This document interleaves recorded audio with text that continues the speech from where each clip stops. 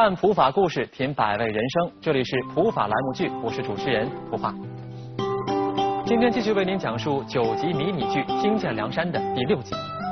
之前呢，我们得知阿一呢在老板白来的诱惑下，出卖了自己的身体，从而击败了竞争对手丽娜，获得参赛资格，并且最终闯进了决赛。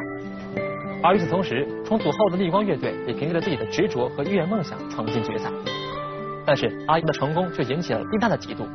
他雇人将阿姨撞进医院，自己呢则取而代之。躺在病床上的阿姨决定孤注一掷，设法取得毒品，通过吸毒来缓解腿伤造成的痛苦。那么之后，阿姨真的会吸毒吗？施威作为逆光剧的新成员，在和咱们相处中，他们是互生情愫。但是吉克的出现却打破了平衡，引发了很多的猜忌和误会。那么狼和施威之间，他们的误会能够消除吗？让我们来看今天听见梁山的六集。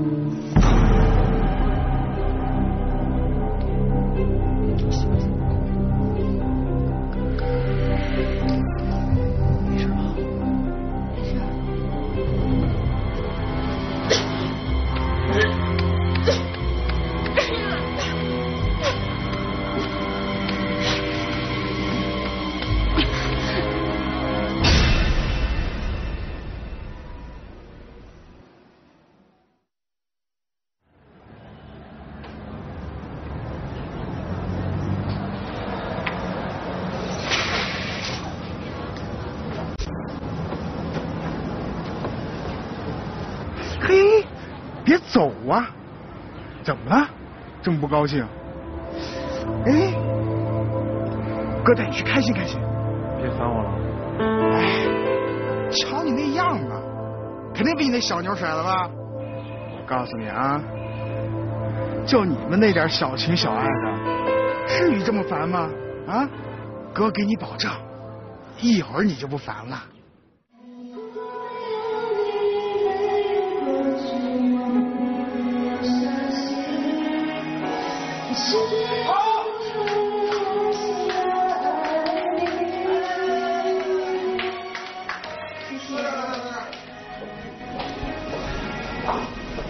来，我给你介绍一下，这个是我的好兄弟。狼，这个是丽丽，你们俩喝一个吧。你好，帅哥，敬你一杯。哥最近刚盘了个场子，这几天就开张，你来给我当驻唱，演出费照给，你还能排练，怎么样？哎，放心吧，演出费绝对少不了你的。谢谢伟哥。客气，喝酒喝酒。丽丽给我把帅哥陪好了啊！没问题，伟哥您放心。你们就好好玩啊！哥先走了。慢走啊，鬼哥。嗯。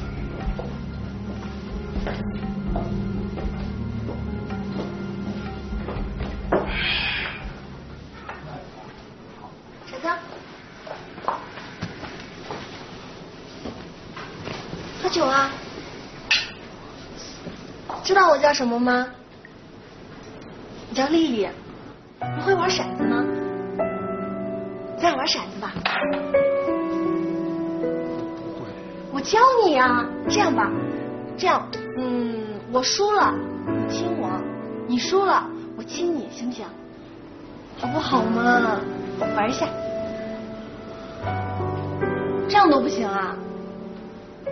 要不然你输了，你输了赢了全是我亲你行不行？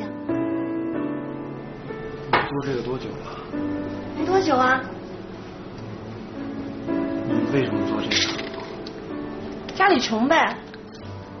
我觉得你长得挺漂亮的气质挺好的你应该找个好工作干点正经事为什么要干这个呀？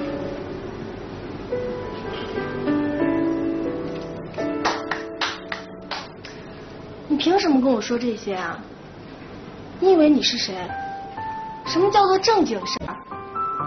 你给我花钱，我让你开心，这就是交易，这就是最纯粹的正经事儿。我不是这个意思。那你什么意思啊？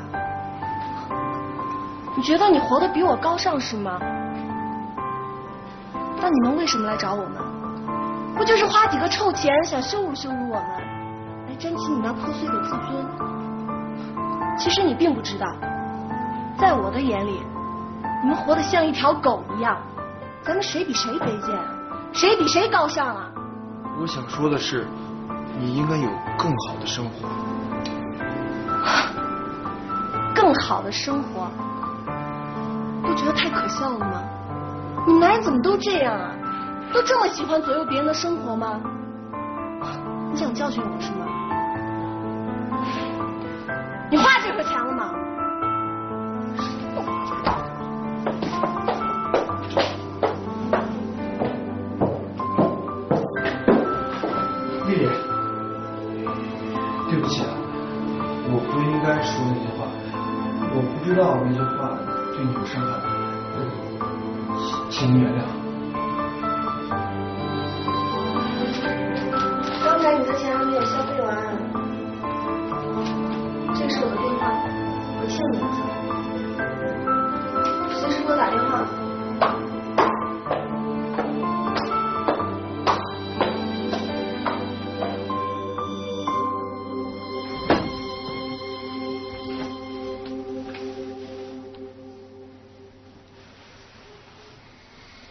你昨晚上去哪儿了？为什么不接电话？我为什么告诉你啊？你是我的谁啊？你没回家的时候，你也没告诉我啊。我为什么要向你汇报？好，你说的啊。那以后咱们谁也别管谁。本来就应该谁都不该管谁。你只是住在我这儿，不想住可以不住啊。有更好的地方你可以去住吗？你莫名其妙吧？那天是我喝醉了，某个人陪在另一个女人的床边。咱俩别吵了啊！排练还要不要继续了？要继续，我找了一个新的排练室。什么新的排练室？不是已经有极客的排练室了吗？我不想在那儿排练了。我昨天晚上见了鬼哥了，他说用他的新酒吧让我们排练，还有演出费，钱都给了。我不去他那排练，要去你自己去。我只去极客那儿排练。我看你是喜欢跟极客纠缠在一起。你胡说什么呢？哎，你那莫名其妙的自卑综合症又开始发作了是吧？没错，我就是自卑，我就是那下水道里的青蛙。你去城堡里找你的王子吧。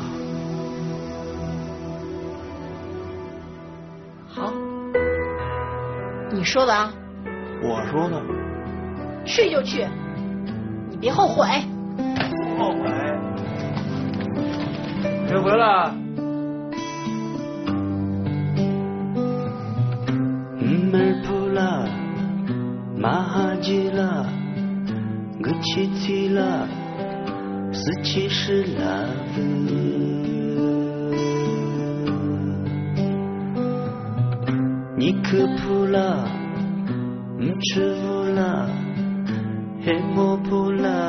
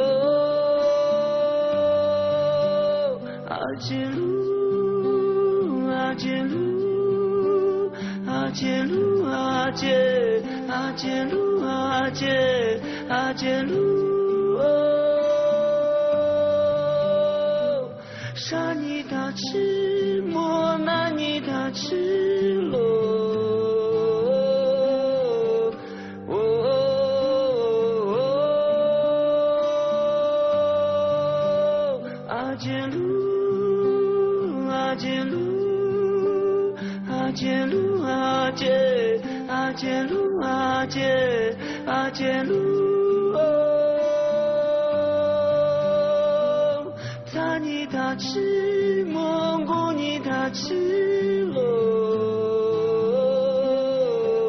哦。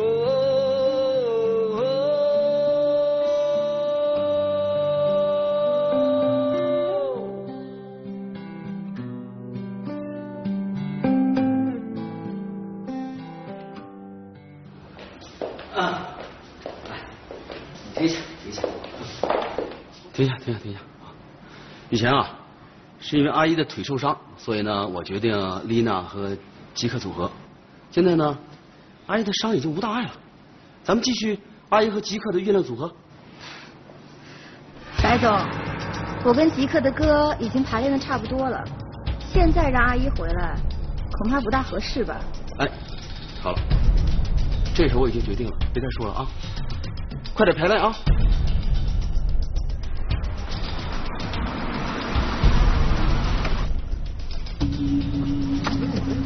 开车你们，路上有酒。你们谁啊？谁啊你们？不是，这是谁啊？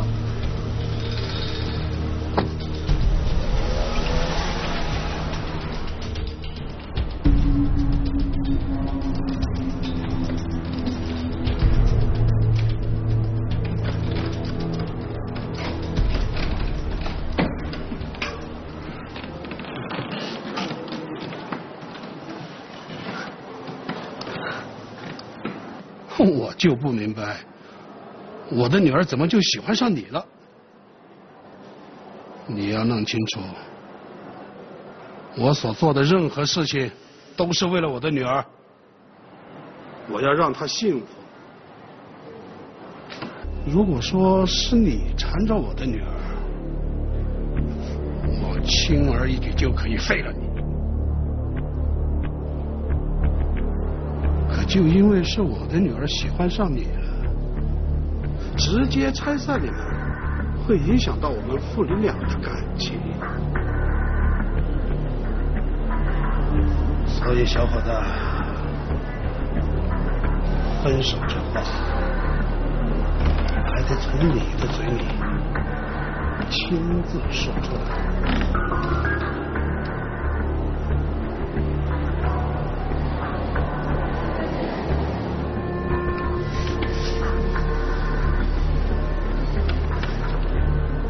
这里有五十万，五十万，只要你愿意跟我的女儿说分手，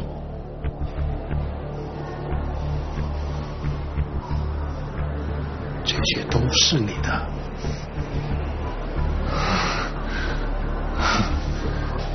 没错，我就是个穷光蛋，我就是下水道里的苍蝇，苍蝇就应该生活在下水道里，我就喜欢肮脏、恶臭的下水道，就像你们这种人生活在钱堆上一样快乐。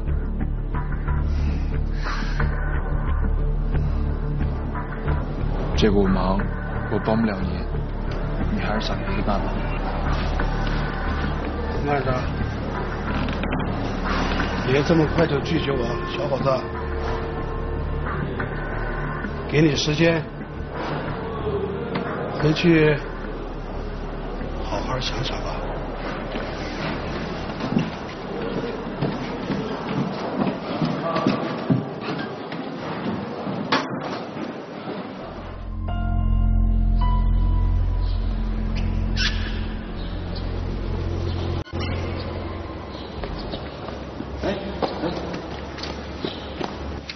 大白天你就来找我，你想死你也别拖我下水啊！姐，我这最近手头有点紧，咱的尾款是不是该结了？你还好意思找我要钱？让你撞个人多大点事儿啊？人家还好好的站着呢，你还找我要钱？姐，不可能吧？就我那撞法，他就是不残，也不可能这么快就站起来呀、你自己看看去，他还好好的站着呢，刚刚还抢了我的东西。那姐你什么意思啊？这撞都帮你撞了，你总不能不给钱吧？要不我再帮你撞一次？你去死吧！你怎么不撞你自己呢？啊！我告诉你，一毛钱我都不会给你。下车。姐，别这样啊，咱得讲信用不是？下车，滚！赶紧给我滚！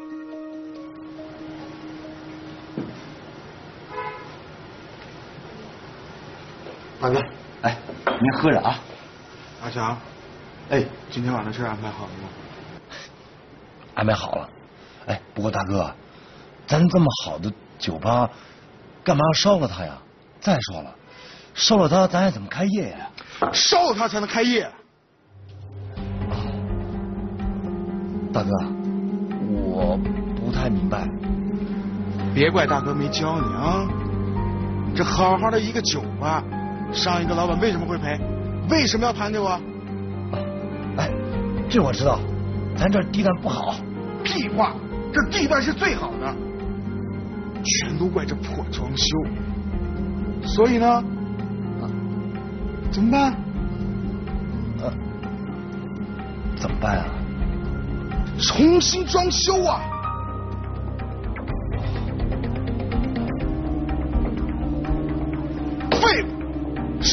才能重新装修啊！现在明白了吗？高，实在是高。欲言又止的伤心，听见刹那间，雪花落满整个冬天。谁在屋檐下遥望森林？谁在山路旁？你怎么在这儿？我怎么不能在这儿？这个排练室即刻借给我们用的。你刚刚唱的歌是你要参加比赛的？关你什么事儿？要么你在这儿，我走；要么我在这儿。你走，我凭什么走啊？这是我们公司的排练室。好，那我走。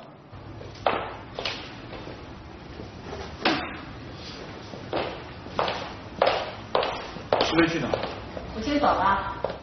晚上有空吗？一块吃饭吧。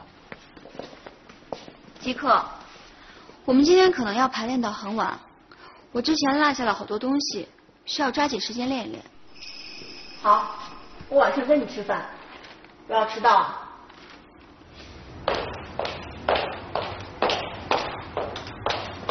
你为什么约石威吃饭啊？你在追他？我们两家是世交，他父亲让我照顾他。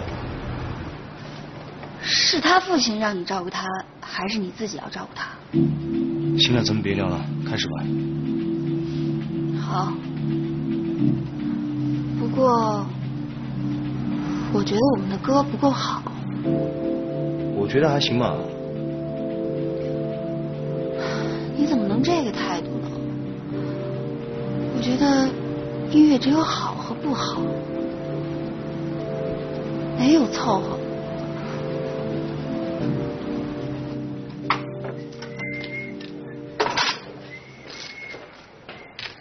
哟，来了，就等你们俩了。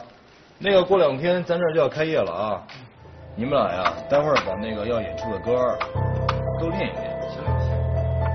那个咱这设备啊可都是新的，你们得保护好了。还有待会儿走的时候，把这个灯啊、窗啊、门啊什么的都给我关好。要出点安全责任的话，是你们俩的责任啊。行，那我先走了啊。嗯。如果有人把你下半辈子要挣的钱都给你了，让你离开你的女神，你怎么选？那用选吗？啊！别说是下半辈子，就下辈子、下下辈子，所有的钱给我这叭一拍，我就告诉他一句话：我不换。哎，这能换吗？这兄弟，这换了跟人渣有什么区别啊？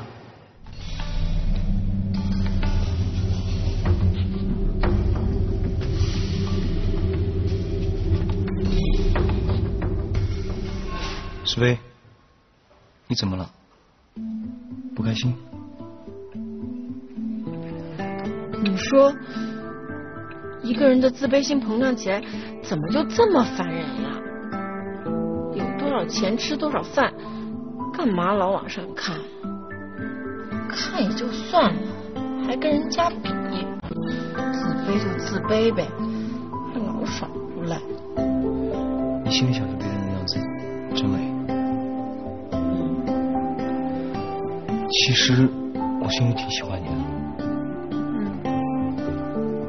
要不你做我女朋友吧？嗯嗯，你刚才说什么？啊，没什么，没说什么。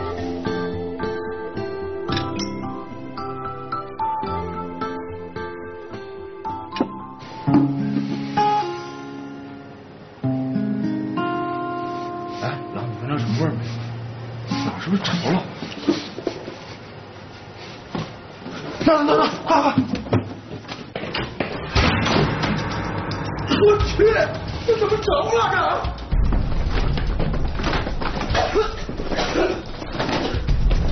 我开！你找水啊！我我去！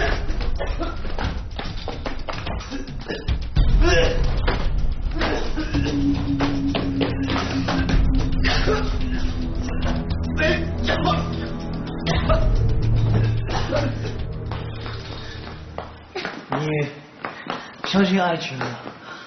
我不知道，你车钥匙在哪儿？车钥匙。我不相信，我从来不相信爱情。不过我现在相信，从我第一次见到你，我就相信爱情了。我很喜欢你，你和我在一起吧。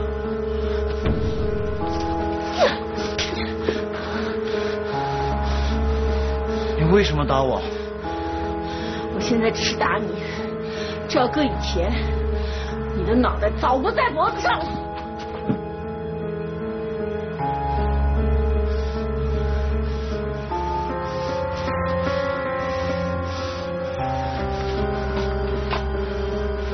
你起来，回家。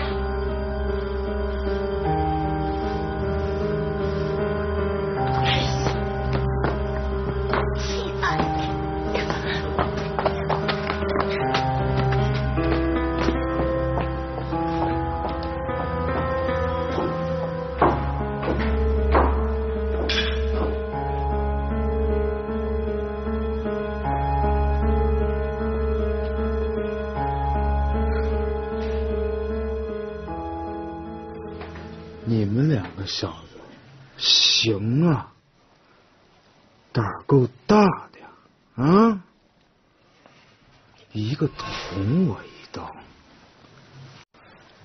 一个烧了我的酒吧，你们这是计划好找我报仇的是吧？我们在那好好磨练，我自己着了，关我们什么事？我们自己还受了伤，还敢进嘴？别叫我出去！啊！是吗？这样吧，我的酒吧装修花了三十万，给我重新装回来，要么就把这三十万的本钱还我。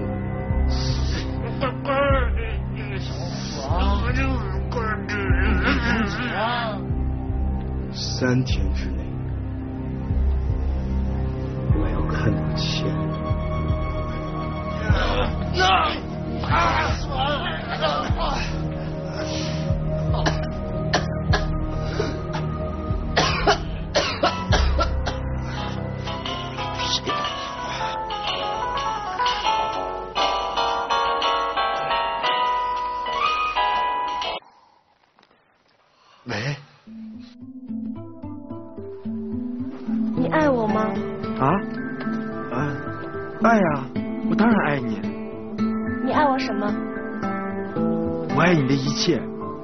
的一切都那么美好。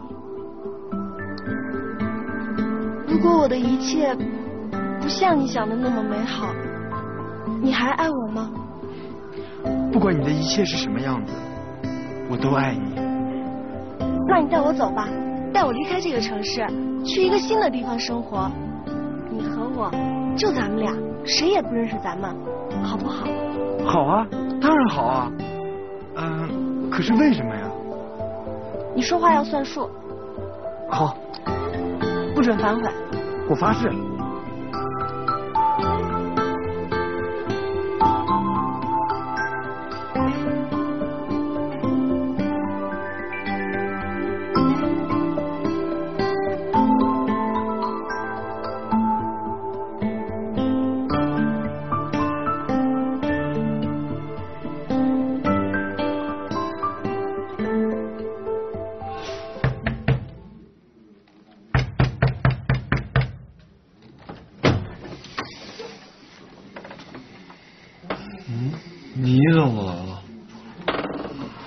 坐会儿吗？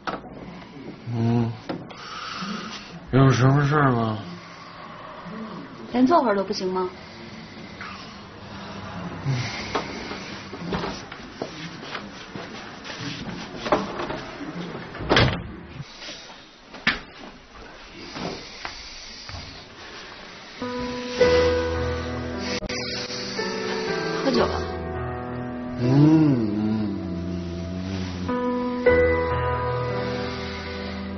手怎么受伤了？还不是因为那个奎哥陷害我们，烧了他的酒吧，讹了我们三十万，这伤就是他弄的。三十万。啊，不提这事儿了。你来找我什么事情？王，嗯我们重新在一起吧，好不好？嗯好不好？嗯，我想你，我不能没有你。我们的页已经翻过去了，提我们之间的事情。嗯嗯，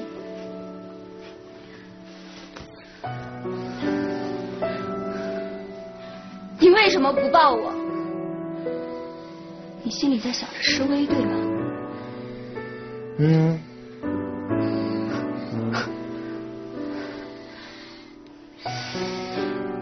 你觉得你跟他在一起合适吗？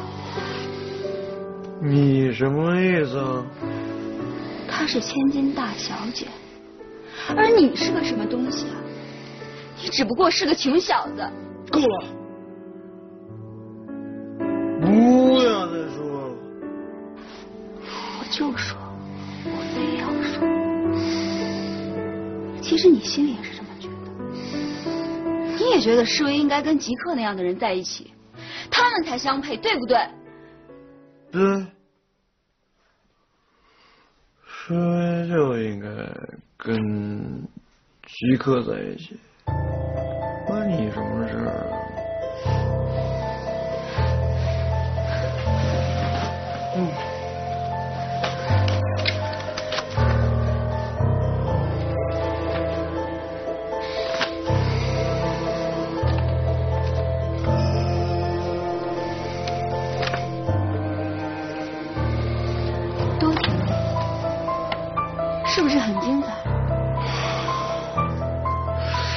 去找了。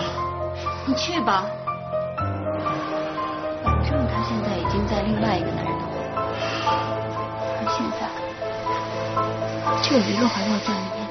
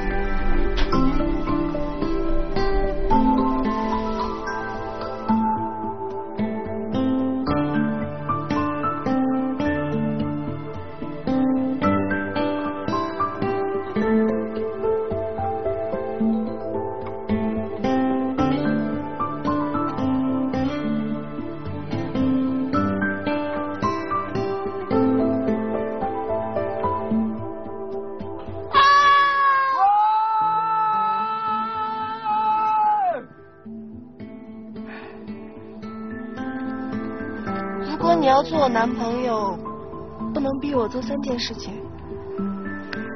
第一，不能逼我喝酒；第二，不能逼我唱歌；第三，不能逼我笑。这前两个我能理解，可是为什么不笑啊？没有为什么，你答不答应？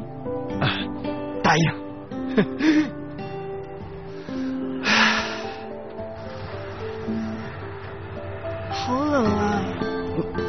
我我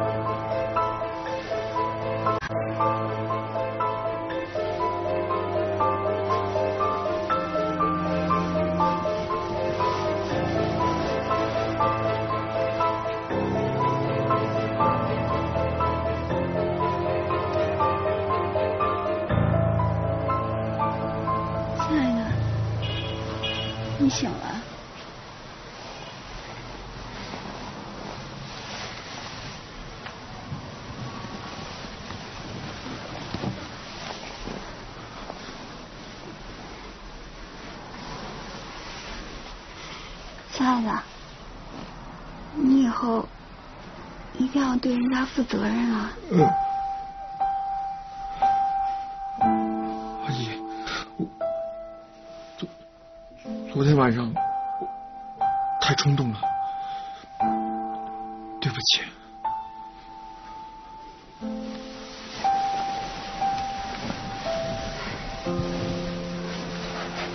什么对不起？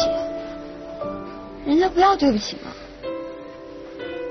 昨晚我都已经把自己给你了，你难道不应该对人家负责任吗？要不我们结婚吧？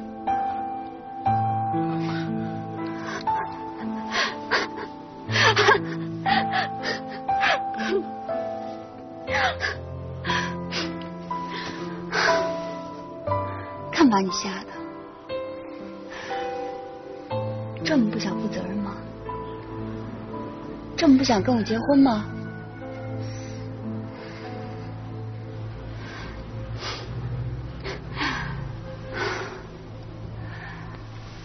你不是很爱他吗？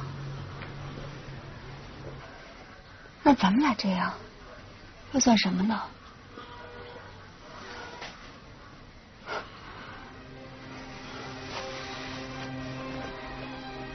我就是为这个而来的，我就是要让你们对不起他。就算你们以后在一起了，那又怎样？你会永远都记得我，你会永远都记得我是你第一个女人，这就是我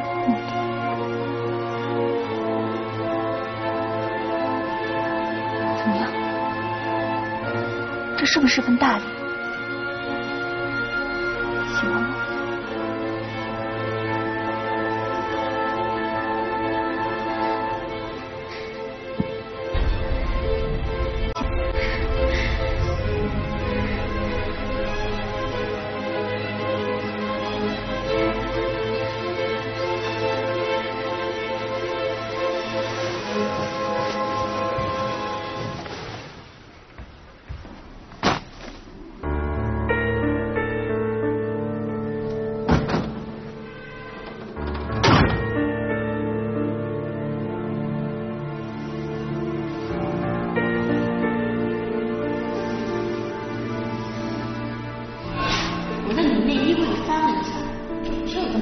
穿的衣服我就凑合当睡衣穿呗你不会介意是吧？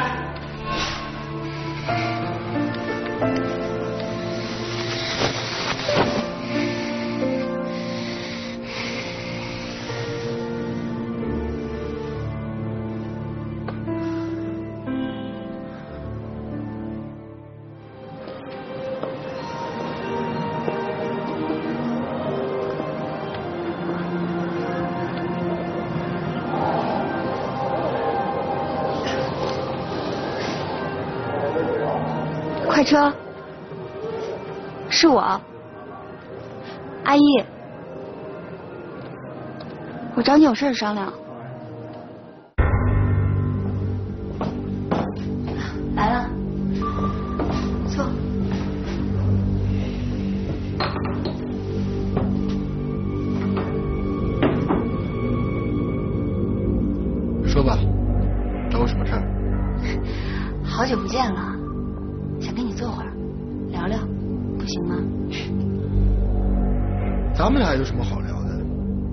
事儿说事儿。真没想到你们乐队还能进决赛。哎，你们的新歌准备的怎么样了？别绕了，阿姨，直说吧。好，那我就言归正传。我知道你现在很需要钱，如果你有需要，可以直接跟我开口。你有这么好心？我当然没有这么好心，不过你有资本啊，你可以跟我换。这要是以前，我可以考虑考虑。不过我现在有女朋友了，不好意思啊，不会出卖我的肉体。我真不是来跟你说笑的，快车。那我不妨跟你直说吧，我想要你们乐队原创的《听见两声》。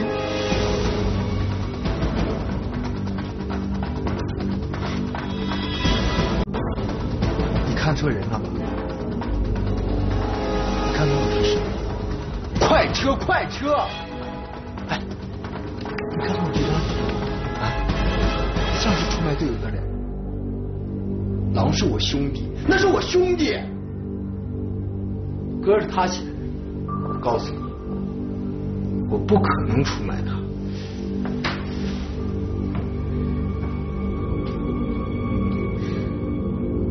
狼性格你我最了解，他肯定会自己扛下这笔钱。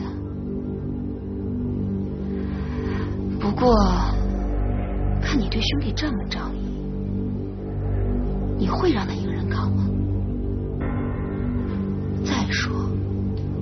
他拿什么来扛啊？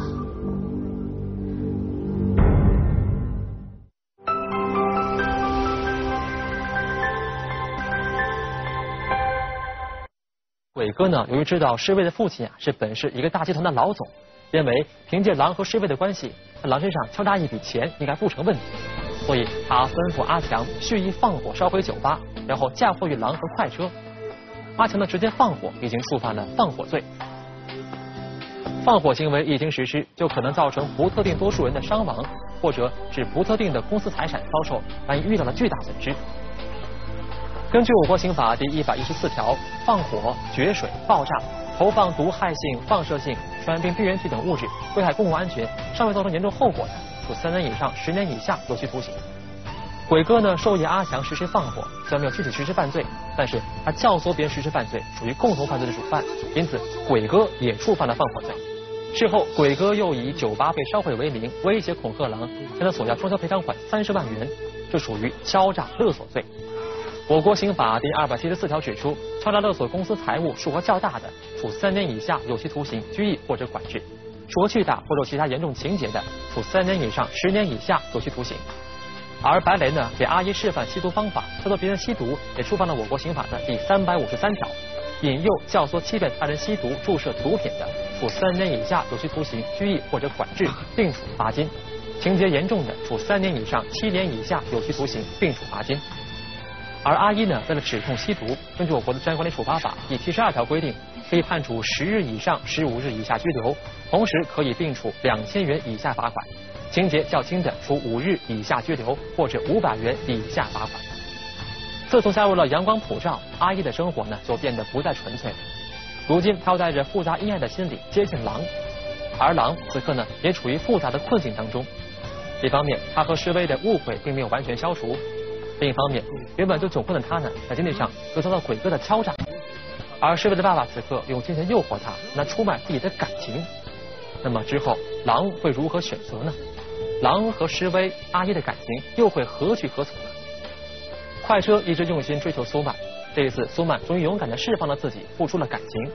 但是如果快车知道了苏曼的另一个尴尬的身份，那么他们的爱情还能够有结果吗？快车作为狼的好兄弟，他们一路扶持，勇敢面对。现在阿一要通过他买下《听见梁山》这首歌，那么在道义和金钱面前，快车又会如何抉择呢？明天请不要错过《听见梁山》的第七集。这是五万块钱，这只是首付。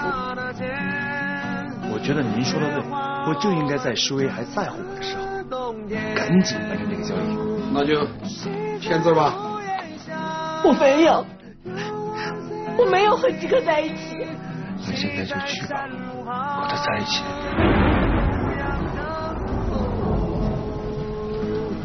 听见